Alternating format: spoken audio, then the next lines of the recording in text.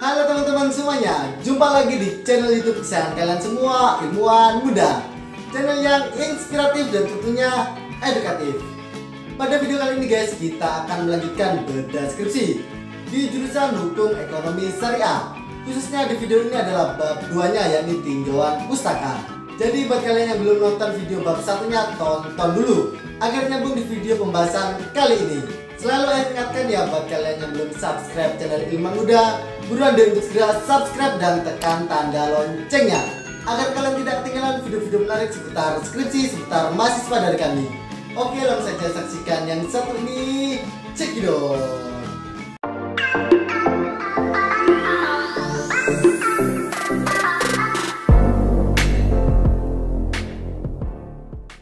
Halo sobat ilman muda, kemarin kita sudah membahas terkait bab 1 ya.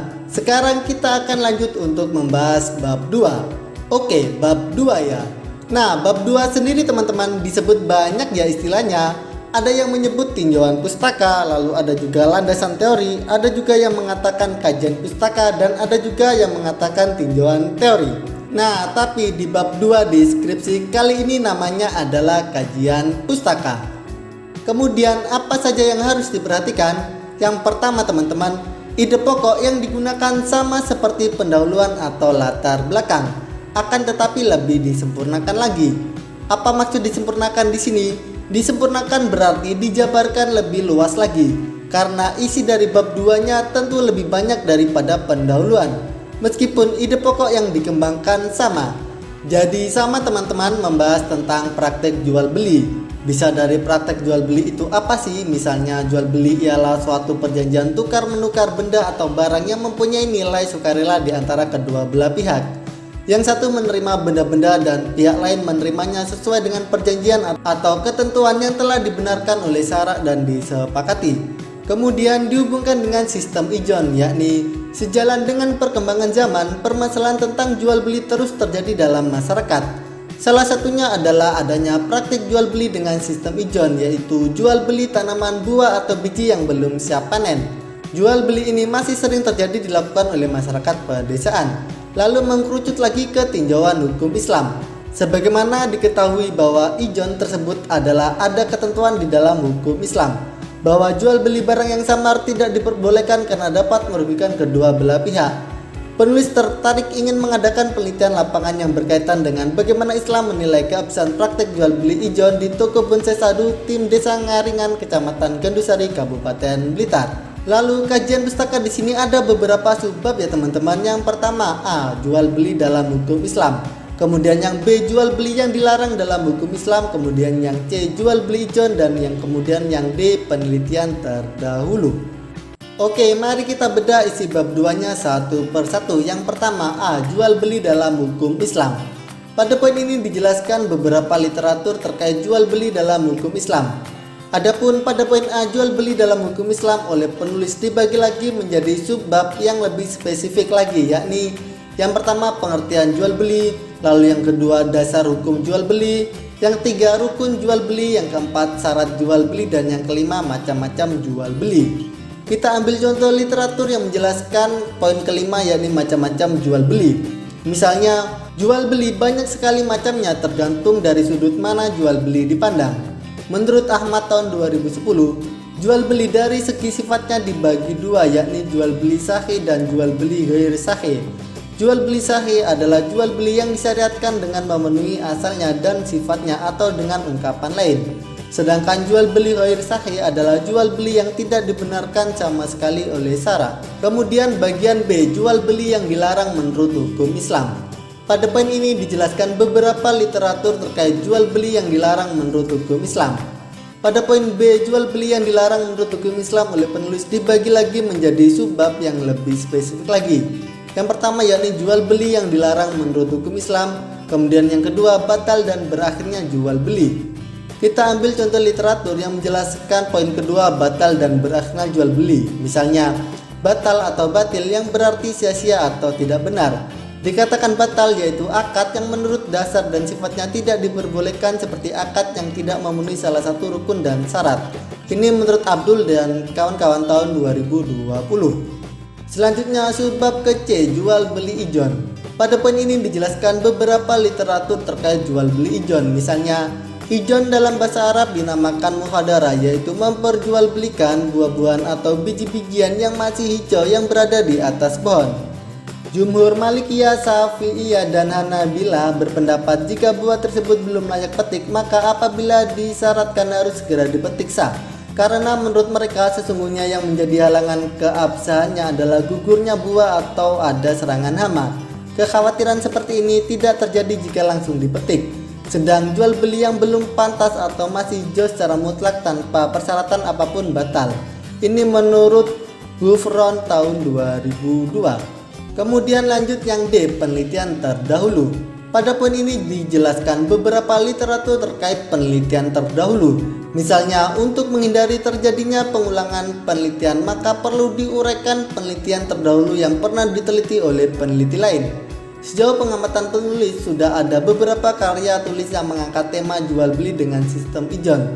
Antara lain yang pertama, dalam skripsi pemahaman masyarakat tentang jual beli cengkeh yang masih di pohon atau ijon di Kecamatan Pasi Barat, Kabupaten Bolang, Mangondo, karya Samsudin A. A.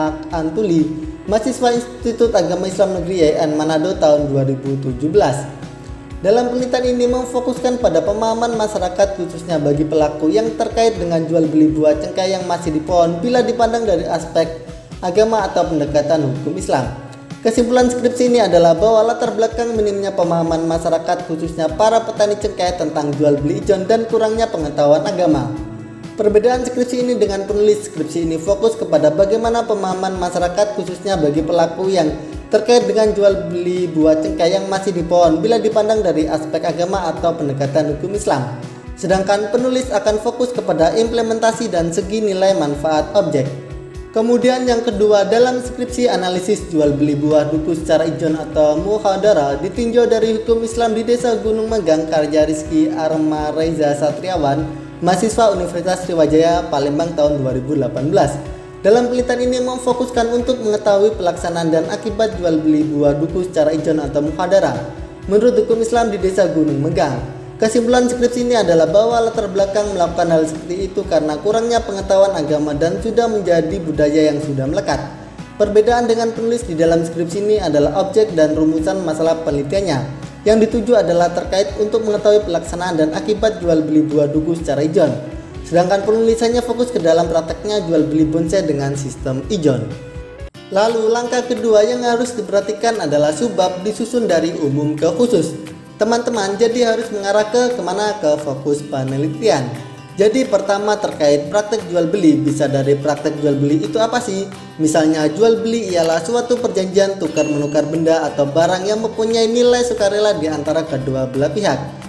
Yang satu menerima benda-benda dan pihak lain menerimanya sesuai dengan perjanjian atau ketentuan yang telah dibenarkan oleh syarat dan disepakati.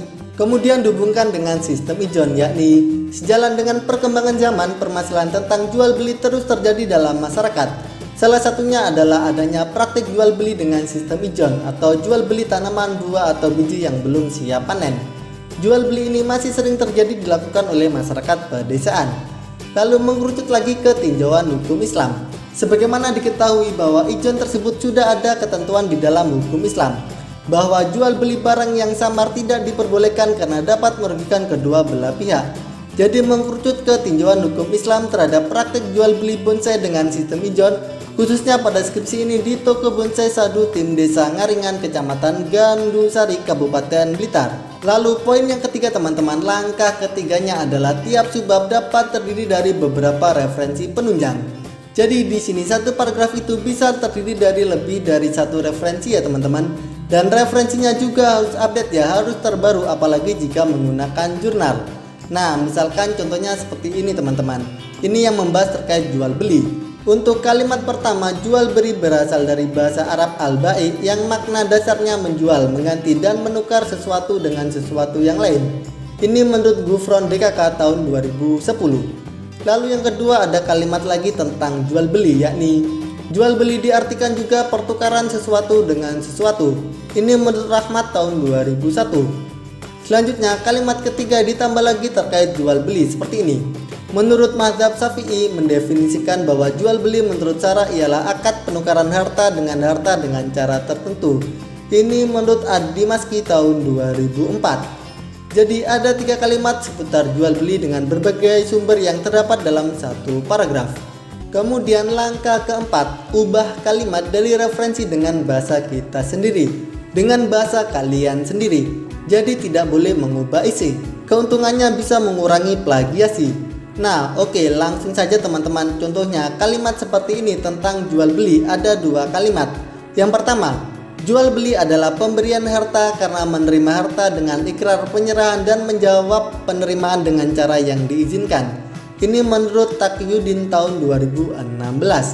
Lalu kalimat kedua, jual beli adalah tukar menukar harta dengan harta yang lain dengan jalan saling rela atau pemindahan hak milik dengan sesuatu ganti atas dasar kerelaan. Ini menurut Sabik tahun 2006. Oke, dua kalimat ya. Langsung kita ubah kalimat pertamanya jadi jual beli ialah pemberian kekayaan karena menerima kekayaan melalui janji penyerahan dan menjawab penerimaan melalui jalan yang diizinkan. Ini menurut Takyudin tahun 2016. Lalu kalimat keduanya jadi seperti ini. Jual beli merupakan tukar menukar kekayaan dengan kekayaan yang lain melalui cara saling rela atau pergantian hak milik untuk sesuatu ganti atas dasar kerelaan. Ini menurut Sabik tahun 2006. Kalau kalian bingung, kita akan mensejajarkan kalimat asli dengan kalimat sendirinya. Kalimat asli tadi kan seperti ini. Jual beli adalah pemberian harta karena menerima harta dengan ikrar penyerahan dan menjawab penerimaan dengan cara yang diizinkan. Ini menurut Takyudin tahun 2016.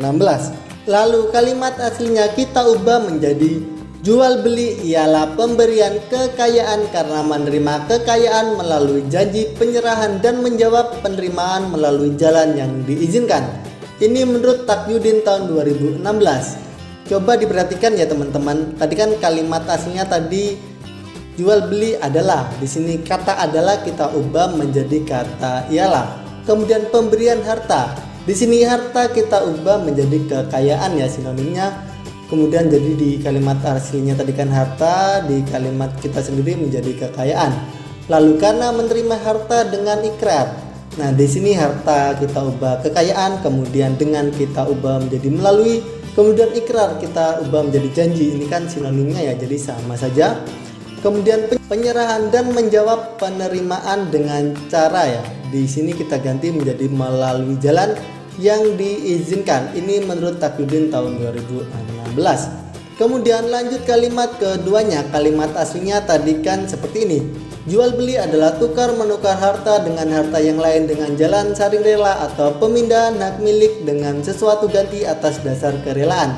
Ini menurut Sabik tahun 2006 Lalu kalimat sendiri kalimat kalian seperti ini. Jual beli merupakan tukar menukar kekayaan dengan kekayaan yang lain melalui cara saling rela atau pergantian hak milik untuk sesuatu ganti atas dasar kerelaan.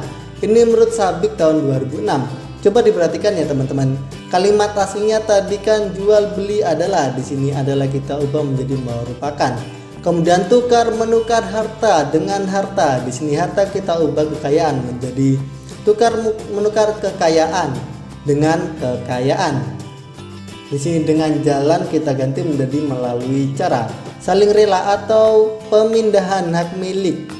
Jadi di sini pemindahan kita ubah menjadi pergantian. Lalu dengan sesuatu ganti atas dasar kerelaan.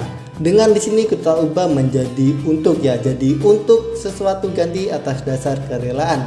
Ini menurut Sabik tahun 2006. Jadi intinya parafase adalah penyajian kembali atau penulisan ulang sebuah konten atau pernyataan yang telah dibuat oleh orang lain dengan menggunakan kata-kata sendiri tanpa mengubah maknanya. Kita bisa mengganti katanya menggunakan sinonimnya dan kita juga boleh merubah susunan katanya asalkan dengan catatan tidak boleh mengubah maknanya. Jadi harus tetap mempertahankan inti yang disampaikan dari referensi yang kita gunakan. Seperti itu teman-teman semoga dapat dipahami. Bagaimana teman-teman? Itu tadi adalah video pembahasan berdeskripsi bab 2 ya tinjauan pustaka jurusan hukum ekonomi syariah. Bagaimana? Sudah cukup jelas kan? Kalau ada yang kurang jelas pun kalian masih boleh tanya-tanya di kolom komentar di bawah ini ya. Selanjutnya apabila menurut kalian video ini bermanfaat jangan lupa untuk like, komen dan share video ini ke teman-teman kalian semuanya. Oke, cukup sekian dari ayam. Salam dari kami, salam ilmuwan muda. Halo teman-teman semuanya, jumpa lagi di channel YouTube kesayangan kalian semua. Ya, ilmuwan muda. Channel yang inspiratif dan tentunya edukatif. Halo teman-teman semuanya, jumpa lagi di channel YouTube kesayangan kalian semua, ilmuwan muda. Channel yang